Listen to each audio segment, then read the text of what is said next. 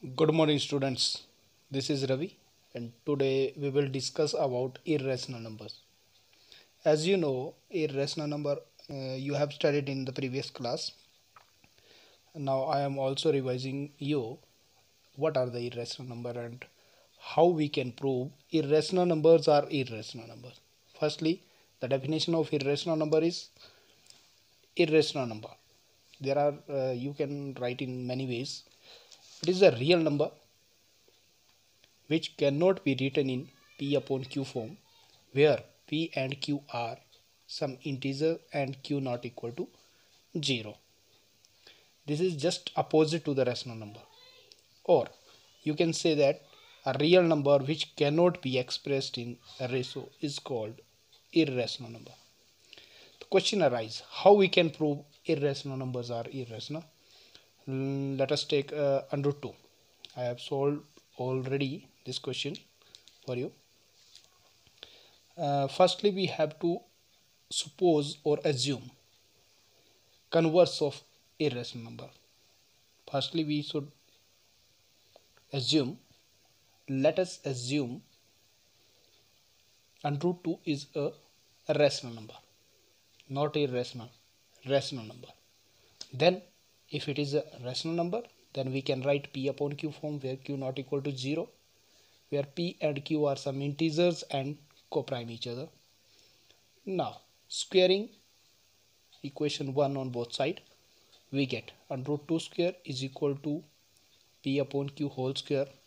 After solving it I get q square is equal to p square upon if p square is divisible by 2 you can see here p square is dividing by 2 so I can say that if p square is divisible by 2 then p also divisible by 2 it means p is equal to 2q it's equation third putting 2r sorry p is equal to 2r where r is any integer putting 3 in 2 here putting 3 into we get q square is equal to 2r square upon 2 after solving it q square is equal to 4r square upon 2 after solving I get r square is equal to q square upon 2 it means if q square is divisible by 2 then q also divisible by q are you understanding it then after solving it what we get?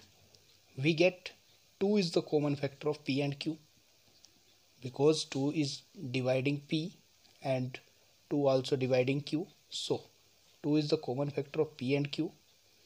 P and q are not coprime since our contradiction was wrong. Hence under root 2 is irrational number. By this method we can prove how irrational numbers can be proved irrational number. And in point of examination view this question is very important. And i think every consecutive years this question comes comes in any series either in a b or c. This type of questions ever asked. So i think you can understand. Okay thank you. Take care